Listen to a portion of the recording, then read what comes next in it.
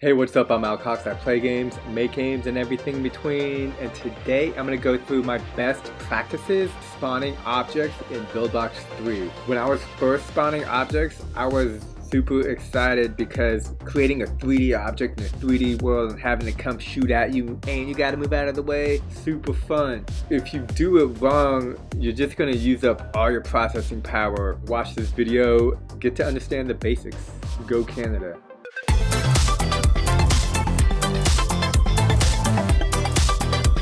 If you like learning about BuildBox 3 or watching my game dev process, be sure to like and subscribe as I'm putting out content all the time. So here in level 6, we have two balls that shoot out, and this is named Sphere D Blue Go. Sphere D Blue Go, and this is on the X coordinates. Now here we can see the first thing I have is set to a delay, then the object spawns an object, and that object either moved at the speed of 20 or at the speed of 25. After the object is spawned, there's a delay for about 10 seconds, which then removes the object. When the object is created, you want to have time before the next object is created. If there's not time, then this is what you'll get. And obviously, character can't go through like this.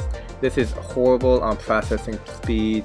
A lot of what I do is I'll play with the numbers just so I can visually see what's happening. And I can see that this is no good, it will not create the desired gameplay I'm looking for, and I must keep the delay here. Now, again, I'm not exactly sure how this threshold works. So because there is no documentation, I'm not exactly sure what the threshold means. And one day, supposedly, maybe there will be documentation. So let's go ahead and change this. The first step is to always have a delay timer after the start. Otherwise, the object will just be creating itself indefinitely, and that is not your desired gameplay. You want to have the delay timer between the start and the spawn, giving some time for the object to do whatever it's going to do. And in this case, the object is moving in the Z axis. Next, you want to look at the spawn node. This is super important because you will make this mistake.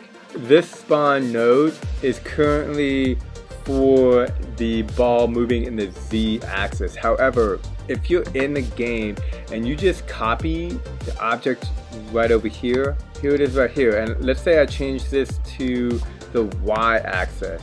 Now if I go into this set changes to the y-axis, I go into the object itself and I change this from 015z to 15y and I change this to 25y and 0z.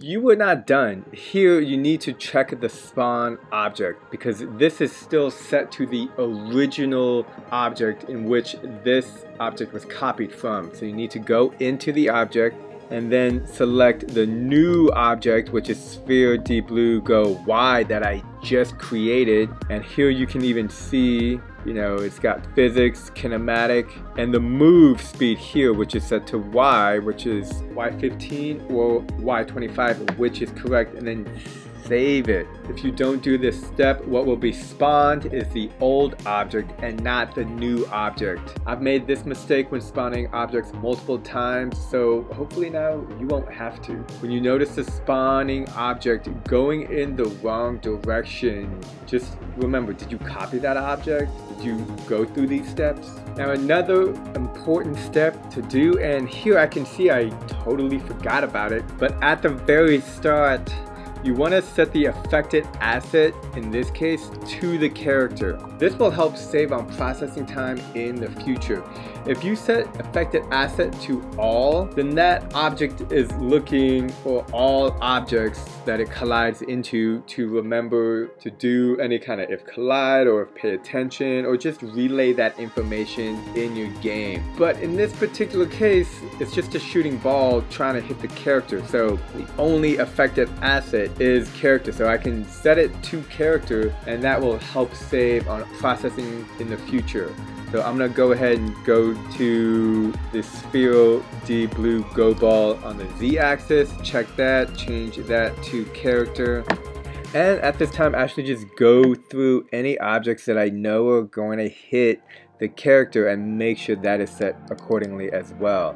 Here I have a purple ball that is moving, set this one to character. Here I have something called the X purple cube, X purple cube, which is not set to character. See all these little things slowing my phone down. And if your gameplay is slowed down, then people are just gonna not like it and not play it. The very last thing you want to do is remove the object. This seems kind of silly because now that the balls are gone, you think you wouldn't have to worry about it, but they're still in the background taking up space, memory, CPU usage, and you want to delete that. And that is easy enough to do by simply adding a delay node and a remove node. Now the delay node is set to 10 seconds.